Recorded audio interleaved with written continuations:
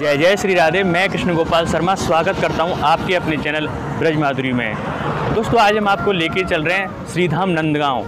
ये आप जो बोर्ड देख रहे हैं नंदगांव नंद नगरी नंदगांव में आपका स्वागत है। भगवान श्री कृष्ण का जन्म मथुरा में हुआ था। उसके बाद नंद बाबा उनको लेकर इसी नंदगांव में आए थे। यहाँ पे नंद महल है, जहाँ पे भगवान श्री कृष्ण और बलदाऊ भैया रहते थे। आज हम आपको नंदगांव की संपूर्ण यात्रा कराएँगे और आपको दिखाएँगे किस तरह से यहाँ पे कौन कौन से दर्शनीय स्थल हैं, जिसके दर्शन आपको यहाँ पे करने चाहिए। तो दोस्तों, नंदगांव की इस यात्रा में सबसे पहले हम आपको नंद बाबा के मंदिर लेके चलते हैं, जिसको नंद महल के नाम से जाना जाता है। और ये नंदगांव की कुंज गलियाँ हैं इनकी दीवारों पे आप देख रहे होंगे पेंटिंग्स बनी हुई हैं, जहाँ पे भगवान श्री कृष्ण की लीलाओं का चित्र चित्रण किया गया है। दोस्तों, वीडियो को अंत तक ज़रूर देखें, क्योंकि मानसिक रूप से आप आज नंदगांव के दर्शन करेंगे और हम आपको नंदगांव के जो प्रमुख स्थान हैं, उनके दर्शन आज करवाएँगे। तो हम पहुँच गए हैं नंद महल में। नंद बाबा के नंद महल में।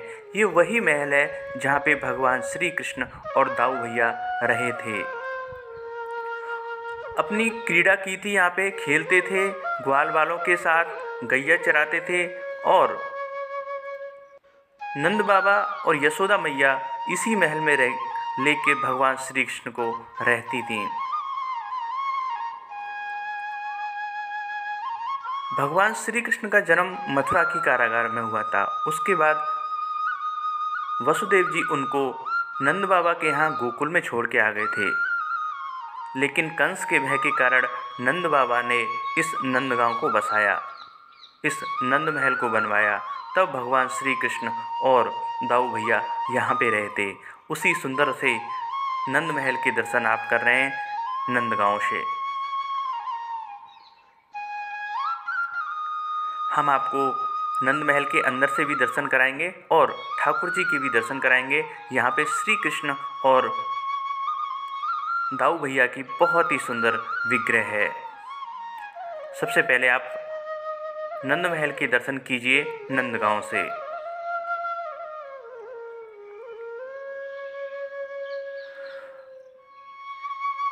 तो दोस्तों, आप देख रहे होंगे कि हम नंद महल के अंदर हैं और यहाँ पे बहुत ही सुंदर चित्र बने हुए हैं, जो भगवान श्री कृष्ण की लीलाओं को दिखाते हैं। कौन कौन सी लीलाएँ भगवान श्री कृष्ण ने की, उसको यहाँ पे दिखाया गया है। और ये वही नंदगांव है, जहाँ पे भगवान श्री कृष्ण बचपन में रहे थे और महादेव जी यहाँ पे उनके दर्शन करने के लिए आए थे। तब मैया यशोदा से बहुत विनय करने के बाद कन्हैया के दर्शन मैया यशोदा ने करवाए। यहाँ पे आशेश्वर महादेव का भी मंदिर है, उनके भी दर्शन हम आपको करवाएँगे। ये देखिए कितना सुंदर महल है, नंद महल, नंदगांव से।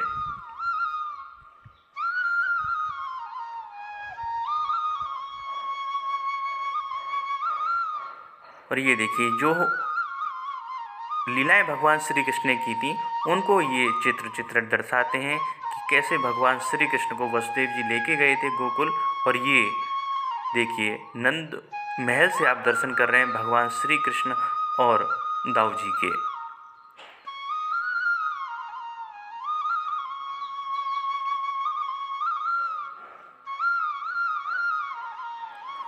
और हम आपको यहाँ पे नंदीश्वर महादेव जी के भी दर्शन कराते हैं। जब भगवान श्री कृष्ण का जन्म हुआ तो महादेव जी दर्शन करने के लिए आए थे। तो यहाँ पे ही बैठ के उन्होंने अपनी आसन रमा लिया कि भगवान श्री कृष्ण के दर्शन के बिना वो यहाँ से नहीं जाएँगे। तभी से यहाँ पे नंदीश्वर महादेव विराजमान हैं। और ये देखिए कितना सुंदर नज़ारा है श्री धाम नंदगांव के नंद महल का। हमारे नंद बाबा के तो ठाठ ही अलग हैं। ये देखिए कितना सुंदर नंद महल है। और ये श्री धाम नंदगांव। आप देख रहे होंगे कितना सुंदर दृश्य नंदगांव का है। और भगवान श्री कृष्ण की क्रीड़ा स्थल ये है।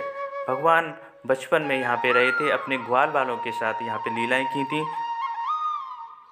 गैया चराने जाते थे। तो ये वही नंदगांव है।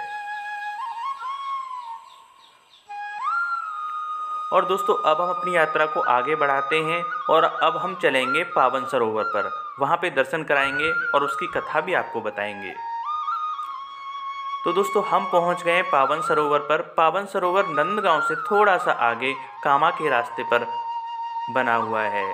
ये देखिए, कितना सुंदर कुंड है। बहुत ही निर्मल इसका जल है।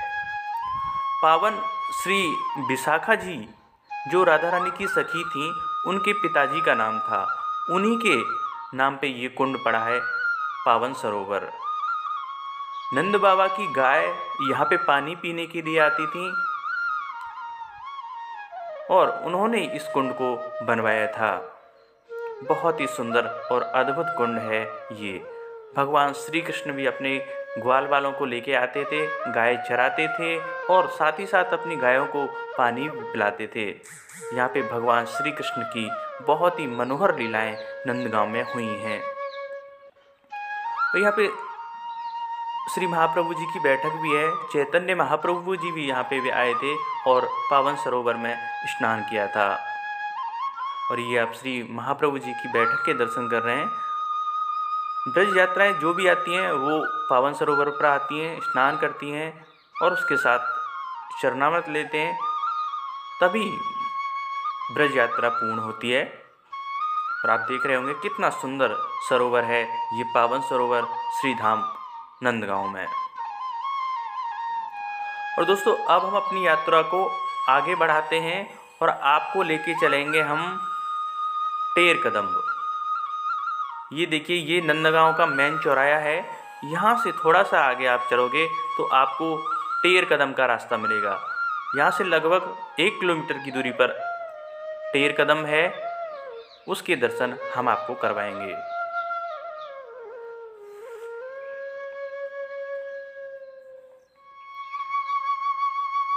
तो भक्तों, हम पहुँच गए टेर कदम पर और सबसे पहले यहाँ पे जो बहुत ही सुंदर सा कुंड बना हुआ है, उसके दर्शन कीजिए। बहुत ही सुंदर स्थान है ये। जब भी आप नंदगांव आए तो टेर कदम के दर्शन ज़रूर करने आए। टेर का मतलब होता है बुलाना। भगवान श्री कृष्ण अपनी गायों को यहीं पे बैठकर बुलाते थे। कदम के पेड़ पर बैठ जाते थे और अपनी गायों को बुलाते थे। तो ये वही टेर कदम है और प्रकृति को दिखाता हुआ, सौंदर्य को दिखाता हुआ बहुत ही सुंदर स्थान श्रीधाम नंदगांव में बना हुआ है, जिसको टेर कदम के नाम से जानते हैं। जब शाम हो जाती थी, सभी ग्वाल बाल अपनी गाय चरा के आ जाते थे, भगवान श्री कृष्ण भी अपनी गाय चरा के आते थे तो यहाँ कदम के पेड़ पर बैठ जाते थे और जो भी गाय बची हुई होती थी, उनको पुकारते थे। यहाँ पे भगवान श्री कृष्ण के द्वारा गायों को पुकारा गया। इसीलिए इस स्थान को टेर कदम के नाम से जाना जाता है। बहुत ही सुंदर स्थान है और यहाँ पे हम आपको बता दें, जो भगवान श्री कृष्ण की गाय थी, जैसे कारी गाय, धूमर गाय, गुलाबो गाय, उनका भी बना हुआ है। वो भी गाय बनी हुई हैं कि किस तरह से यहाँ पे भगवान श्री कृष्ण पुकारते थे। तो ये वही स्थान है इसको यहाँ पे दर्शाया गया है। और यहाँ पे श्री रूप गोस्वामी जी ने अपनी तपस्या की थी, भजन स्थली है उनकी, और भगवान श्री कृष्ण के साथ साथ राधा रानी से भी जुड़ी यहाँ पे कथा है। वो कथा इस प्रकार है कि जब श्री रूप गोस्वामी जी यहाँ पे भजन करते थे तो एक बार श्री राधा रानी उनको खीर का प्रसाद लेके आई, और तभी से यहाँ पे खीर का प्रसाद लगाने का बहुत ही महत्व है। बहुत ही सुंदर स्थान है नंदगांव में, जिसको टेर कदम के नाम से जाना जाता है। और गोपाष्टमी आने वाली है। गोपाष्टमी के दिन यहाँ पे बहुत ही सुंदर कार्यक्रम आयोजित होते हैं और साथ ही साथ सभी ब्रजवासी अपनी गायों को लेकर यहाँ पे आते हैं। और गोपाष्टमी के पर्व को मनाते हैं।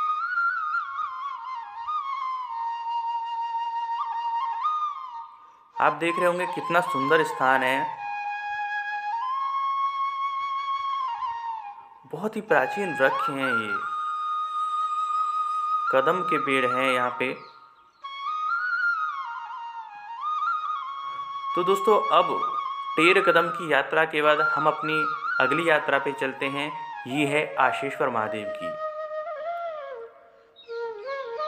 आप दर्शन कीजिए सबसे पहले आशीश्वर महादेव जी के और जैसा कि मैं आपको बता रहा था कि भगवान श्री कृष्ण का जब जन्म हुआ तो महादेव जी यहाँ पे दर्शन करने के लिए आए।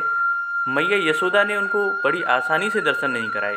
तो यहीं पे आस लगाकर भगवान श्री कृष्ण के दर्शन की महादेव जी विराजमान हो गए। धूनी उन्होंने रवा ली तब जाके मैया यशोदा ने भगवान श्री कृष्ण के दर्शन यहाँ पे भगवान महादेव को कराए। तभी से इस स्थान को आशीश्वर महादेव के नाम से जाना जाता है। और एक बहुत ही सुंदर सा कुंड भी यहाँ पे उपस्थित है। उसके भी दर्शन हम आपको करवाएँगे।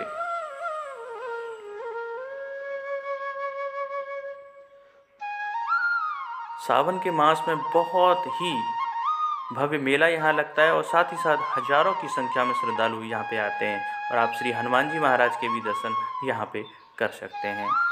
आइए आपको उस कुंड के दर्शन करवाते हैं। आशेश्वर महादेव मंदिर पर ये बना हुआ है।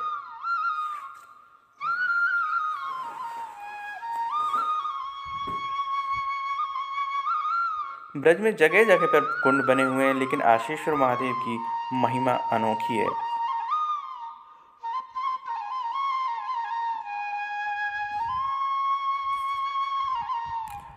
तो दोस्तों, आज हमने आपको नंदगांव की यात्रा कराई। आपको ये यात्रा कैसी लगी, आप हमें ज़रूर बताएँ, कमेंट करें और हमारे चैनल को ज़्यादा से ज़्यादा सब्सक्राइब करें। इसी के साथ, जय जय श्री राधे, जय जय श्री कृष्णा।